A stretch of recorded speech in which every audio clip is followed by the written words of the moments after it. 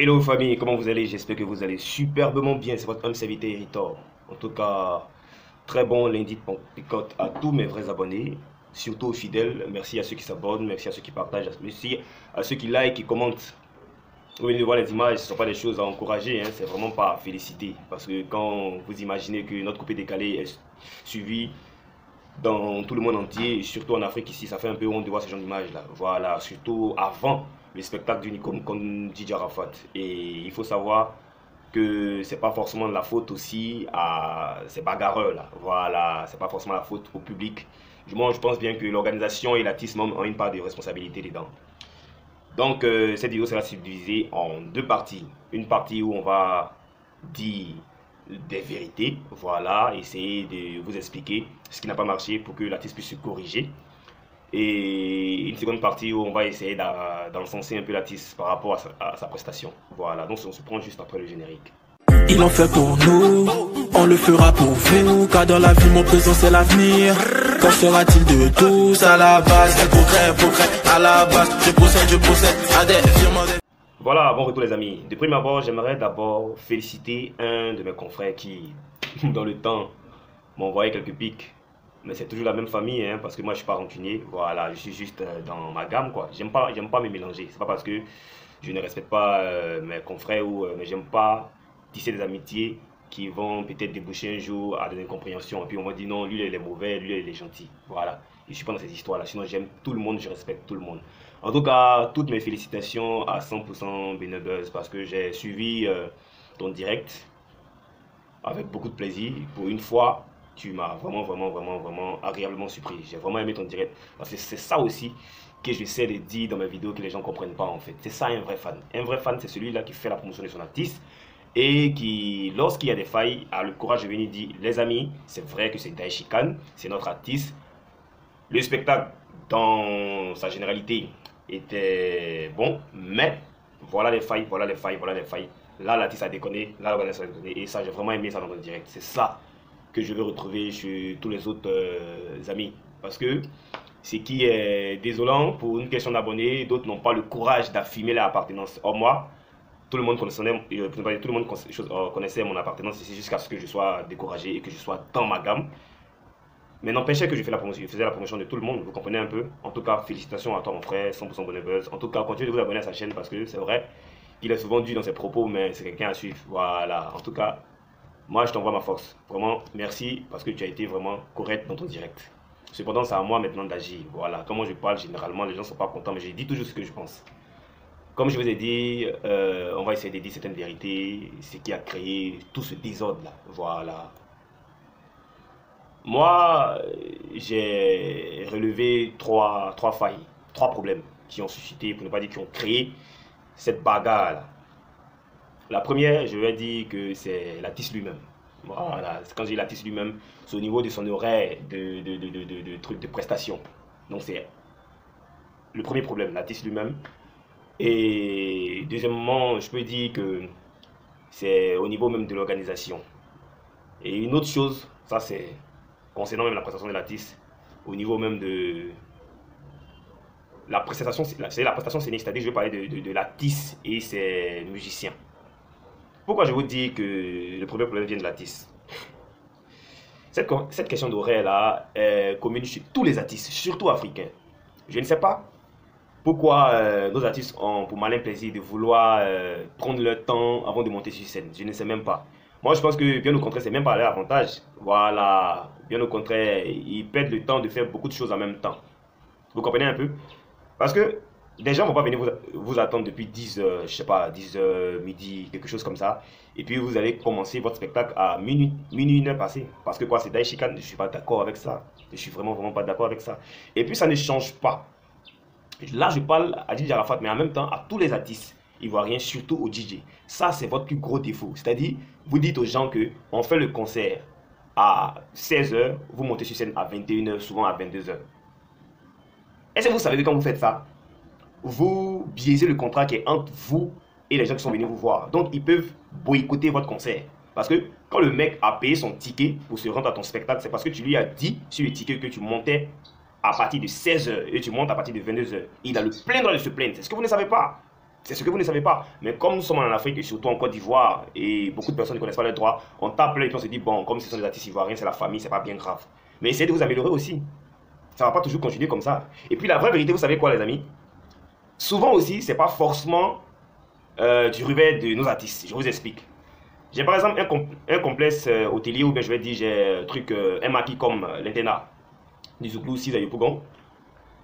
Et puis, je fais un événement un jour lambda, je vais dire peut-être euh, un samedi, où je dis que j'invite par exemple euh, Kérosène. Vous voyez un peu, c'est un exemple que je prends, Kérosène. Et Kérosène sera sur scène à partir de 16h. Et comme je sais que si Kérosène vient à 16h, qu'il finit son spectacle à 18h, mon espace va se vider. Moi-même, je dis à Kérosène d'attendre un peu. Le temps que les gens consomment nombreusement, c'est-à-dire beaucoup, pour que je puisse rentrer dans mes fonds. Là, au moins, si Kérosène vient, la présence de Kérosène va d'abord, un, susciter euh, on va dire, l'envie de vouloir boire encore pendant qu'ils ont déjà assez bu dans cette longue euh, période d'attente là. Vous voyez un peu? Donc, c'est pas forcément aussi de la faute de nos, artistes. Mais je pense qu'ils ont pas de responsabilité. Parce que quand c'est un artiste qui te respecte, tu peux dire que moi, mon agenda, il est vraiment, vraiment bourré. Si tu as vraiment besoin de moi à 16h, je viens, je monte à 16h, je descends à 18h. Point barre. C'est même pas à discuter. Maintenant, si, ça ne t'arrange pas, il y a beaucoup d'artistes, tu vas avec eux, quand c'est comme ça, on vous respecte. On vous respecte énormément, chers artistes. Donc, j'ai fait ce coup-là. Tu as failli boycotter toi-même euh, ton, ton spectacle sans le savoir sur cette question d'oreille là. Apprenez à respecter l'heure. C'est très très important. Les gens vont venir boire depuis euh, midi. Ils sont tout fatigués, tout excités. Ils sont impatients de te voir sur scène. Et puis ils vont essayer de s'échauffer un peu. Ils vont dire que non, euh, les gars, ils ont déconné. C'est vrai qu'ils ont déconné, mais c'est parce qu'il y a une foutaise avant, c'est-à-dire une longue période d'attente qu'ils n'ont pas pu, on va dire, euh, dans les émotions, puis se sont exprimés. C'était désagréable, il y a des blessés, ils ont, ils ont cassé des, des, des, tables, des chaises et tout ça, c'était déplorable, mais c'est à cause de ça. Donc apprenez déjà à respecter l'heure. Parce que quand vous respectez l'heure, vous apprenez à éduquer vos fans et les ménomanes. Voilà. Je n'ai jamais vu un artiste qui dit par exemple 16h et puis il monte à 16h. Je n'ai jamais vu. Je ne sais pas pourquoi. Je ne sais pas si c'est un mythe. Pour des espaces comme l'intérêt, je peux comprendre. C'est ce que je vous ai expliqué là. Le mec, euh, le propriétaire, il veut que vous consommez beaucoup avant que l'artiste monte. Mais pour un concert, les, fans sont déjà là. Le coin est bourré. Moi, tu finis ton concert tranquille. Tu as le temps d'aller faire d'autres spectacles encore après ton concert. Si tu n'es pas fatigué. Mais tu vas perdurer là à tourner, tourner, tourner, tourner. Tu venir monter à 22h. Demandez à Bébé Philippe pour son, je crois, son deuxième concert. Ce qui s'est passé.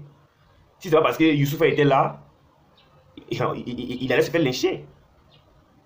Bref, donc, euh, chez DJ Arafat, il y a eu un problème et tu n'as pas de responsabilité dedans parce que tu n'es pas vite monté. Tu as dit 15h, 15h c'est 15h. Voilà. Deuxième chose, je parlais de l'organisation. Quand je parle de l'organisation, je vais parler aussi de la sécurité. Voilà. Pour un espace qui se respecte comme euh, l'internat, normalement, euh, il devait avoir une sécurité pour s'y construire un peu ce désordre-là. Mais apparemment, c'est l'arrivée de l'artiste qui a apaisé les cœurs. Vous voyez un peu, comme ça, c'est pas intéressant. Normalement, un coin comme l'internat, là, quand vous voyez des brebis galeuses qui essaient de boycotter l'événement, vous les éjectez de l'espace. Voilà, ça c'est un coin qui se respecte. Donc l'organisation n'a pas été ça. Et c'est ça la vérité. Vous savez même un coin comme l'internat, vous n'avez pas besoin d'artistes pour remplir votre coin. Les gens quittent là-bas souvent à 8h, à 7h. Si DJ Rafa monte vite, ça vous arrange. Vous comprenez un peu? Parce que ce que vous ne savez pas, s'il y a des blessés, s'il y a des blessés dans votre espace, ils peuvent porter plainte contre vous. Et puis ils vont gagner. Ils ont raison. Ils sont venus boire dans votre euh, établissement et puis ils se sont fait blesser. Parce que vous n'avez pas eu euh, le professionnalisme de trouver des personnes, euh, une bonne sécurité pour sécuriser les biens et les personnes. Vous comprenez un peu, non? Voilà, donc là, vous avez zaï. Vous avez vraiment, vraiment zaï. Maintenant, comme j'ai dit avant de parler de l'auge même, de la prestation scénique de l'artiste, c'est au niveau même de lui et ses musiciens. Comme le confrère 100% Benin l'a dit. Je vois que c'est un peu du riz couché, c'est-à-dire vous vous bossez pas trop, vous bossez pas trop. J'ai l'impression que les, les instrumentistes euh, bossent sans leur artiste. C'est-à-dire, s'ils font 10 répétitions, peut-être les instrumentistes vont essayer de essayer de faire la répétition des morceaux pour maîtriser un peu les notes pour les différents chants que l'artiste va chanter. Mais l'artiste même va peut-être intervenir peut-être deux ou trois fois. Il y a rien par exemple, au niveau même de ta voix, on sait que tu travailles même plus ta voix. C'est vrai que tu n'as pas une superbe, superbe voix, mais mon ami, on voit que ta voix commence à être cassée. Et ça, c'est pas intéressant. Déjà que les gens prennent ça pour t'attacher, pour dire que tu n'es pas fort en live, c'est qu'il est faux. C'est parce que toi-même, tu ne sais pas de bonifier un peu ta voix. On a vu des personnes ici qui n'avaient pas de belle voix, mais à force de travailler, tu as commencé à avoir une superbe voix. Même Kérosène qui chante mélodieusement aujourd'hui, là. Écoutez bien l'ancien sur Kérosène, c'était un animateur. Il n'avait pas une très très très belle voix, mais aujourd'hui, Kérosène, c'est vraiment vraiment un truc amélioré. Et puis, il fait partie des plus belles voix du coupé Galets. Vous comprenez un peu? Dans l'ensemble, c'était pas mal. Mais franchement, il faut vraiment, vraiment travailler avec euh, tes musiciens. Il faut vraiment travailler avec tes musiciens. Ce qu'il faut savoir, moi j'ai compris que le mec, il est vraiment aimé. Il est vraiment, vraiment aimé. Son talent, il est toujours là. Il n'a pas changé. Mais il faut qu'il mette un peu plus de sérieux dedans. Au niveau des, heures de prestation, au niveau même euh, de son orchestre et tout ça. Il faut qu'on sente un peu un sérieux. Voilà. Parce que j'ai l'impression que, comme c'est DJ Arafat, j'ai pas besoin de trop m'entraîner ou bien de trop répéter avec mes musiciens. Les mecs, les mecs ils, vont, ils, maîtrisent mes chansons, moi je viens pour chanter. Quand c'est comme ça, il y aura forcément un petit décalage dans ta prestation. Sinon, dans l'ensemble, moi j'ai vraiment aimé le spectacle, malgré euh, la bastonnade, la bagarre qu'il y a eu entre les fans. Et je sais aussi qu'il y avait forcément des publics galeuses, il y avait forcément des personnes qui n'aiment pas la tête de l'artiste, qui ont peut-être sorti des, des, phrases ou des mots qui ont créé tout ces échauffements-là. Mais c'est pas gâté. Évitez ça. Vous savez très bien que je ne peux pas terminer cette euh, vidéo-là sans m'adresser même à ces personnes-là qui ont participé à cette bagarre-là. Les amis, je vous dis toujours que c'est pas dans la bagarre qu'on résout les choses. C'est pas en montrant qu'on est violent qu'on montre sa supériorité. C'est désolé. Souvent quand vous parlez à quelqu'un et puis vous dites tu as gagné, c'est parce qu'il n'a pas envie de vous faire mal en fait. C'est pas parce qu'il a peur de vous. Un vrai homme là, un vrai homme là, il se définit par sa sagesse par son calme, par sa maîtrise de soi. Même si le mec dit quelque chose qui ne te plaît pas, c'est pas quand tu vas lui répondre, tu vas lui montrer que tu es un garçon ou bien tu n'es pas trop foutaise. L'ignorer, mais ça fait encore plus mal. C'est parce qu'il y a eu une réponse qui s'est partie en vrille en fait. Voilà, donc les amis, même si mon coupé décalé en baisse, il faut savoir qu'il y a beaucoup de personnes qui nous suivent, que ce soit en Afrique comme à l'extérieur de l'Afrique. Donc tâchons de donner une très bonne image à ce genre musical-là. Il n'est même pas vieux, il n'a même pas encore 25 ans. Donc faites un effort pour ne pas le voir mourir demain. Voilà, donc c'était la version d'Héritage, j'espère que vous a plu. Force à la 10 et à ses fans, et vive la musique ivoirienne. Ciao, ciao.